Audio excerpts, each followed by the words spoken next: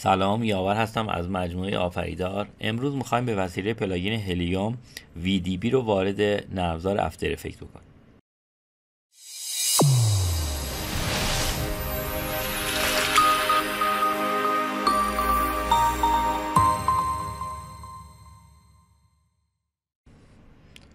خب من برای شروع یه دونه comp می‌سازم control Y یه دونه solid می‌زنم. کلیک راست از effect effect هایی که وجود داره اگه من بیام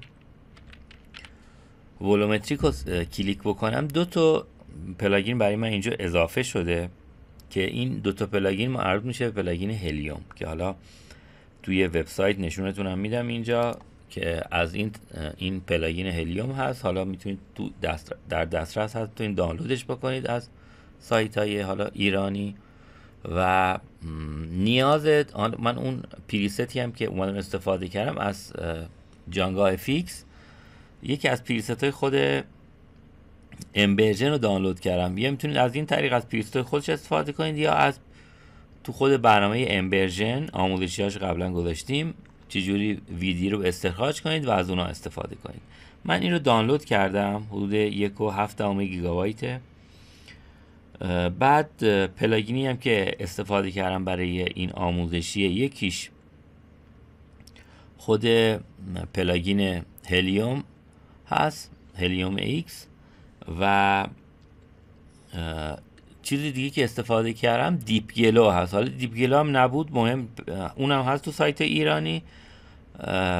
می‌تونید از این استفاده کنید یا خود glow After Effects هم به دردتون می‌خوره. من این solid رو که ساختم کنترل مص...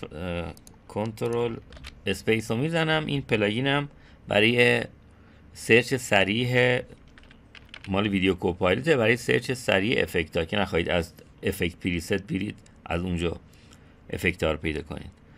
اگر default خود volumetric رو بزنید این به این شکل به این شکل برای شما ظاهر میشه. edit که بزنید حالا یه سری preset material داره این مثبت رو که بزنید این preset های اومده در اختیار شما قرار داده که خودش یه سری دود داره یه سری OBJ یه سری object ها رو import کرده و یه سری preset های خودشون استفاده کنید.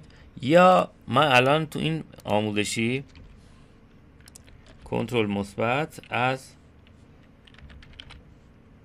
این ولوم رو انتخاب می‌کنم effect volume به این شکل برای من ظاهر میشه که import volume و داره. import volume و می‌زنم و اون فایلی که من دانلود کردم اینجا اون VDB هایی که وجود داره رو فایل اولش رو انتخاب می‌کنم اوکی می‌کنم که وارد برنامه بشه.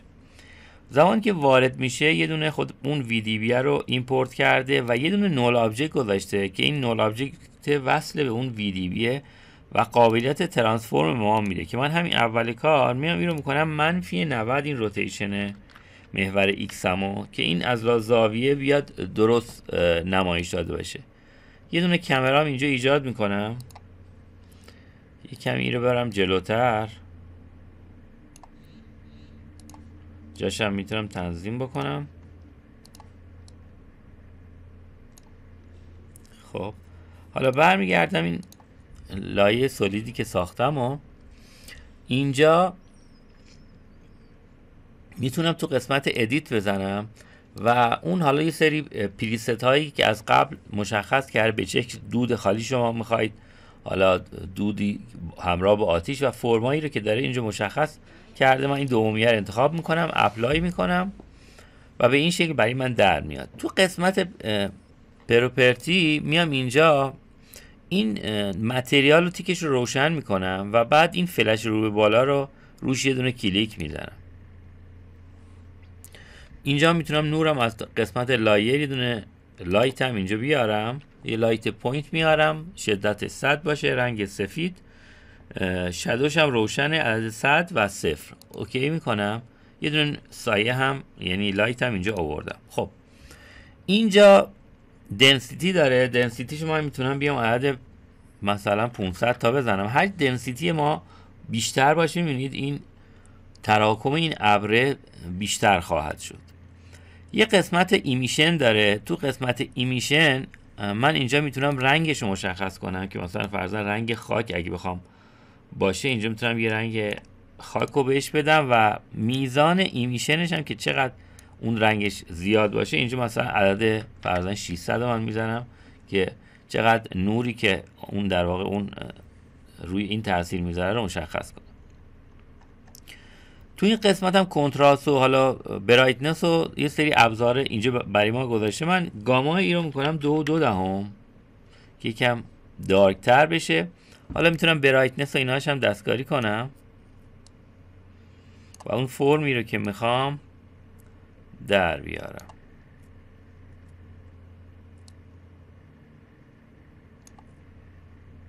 که الان مثلا به این شکل تقریبا الان تقریبا اوکی هست. و اون فرمی که من می‌خوام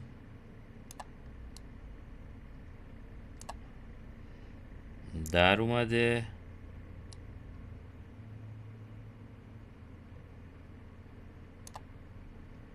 الان خوبه.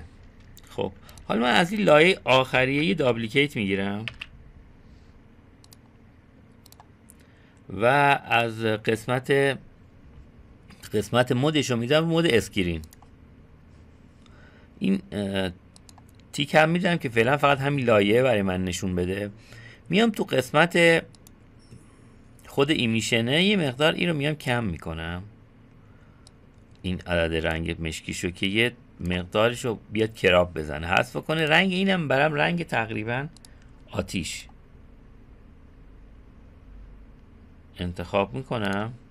و اینجا effect plugin Deep Glow رو می‌تونم انتخاب کنم که به این اعمال بشه و حالا تاثیرش رو لایه من ببینم. می‌تونم شدتش هم یکم مقدار کمتر کنم که فقط این حالت آتیشیش در بیاد.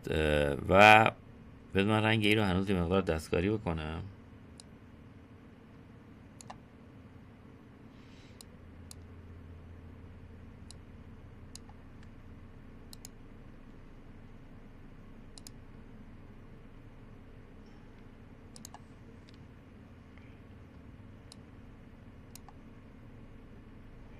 خب من این تیکه اینم وردارم.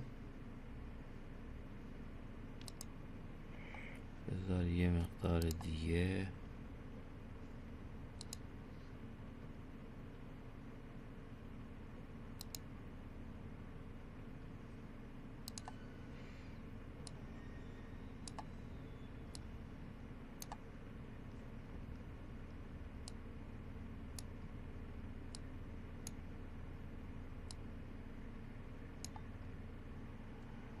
تقریبا خوبه الان. حالا در نهایت الان فایل من به این شکل اومد نمایش داده میشه. می‌تونم effect sharpen هم بهش بدم؟ sharpen. حالا عددش من می‌ذارم 150 اینم control C.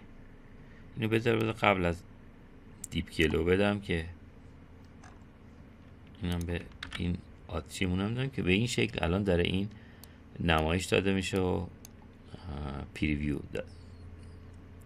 preview ش به این شکل هست حالا مکان نورتون هم یا زاویه دوربینتون هم می‌تونید بچرخونید که اون زاویه‌ای که می‌خواید که فکر می‌کنید بهتر هست و از اون زاویه و اون آتیشه نگاه کنید. این آموزش امروز بود. امیدوارم دوست داشته باشید. لایک و کامنت یادتون نره.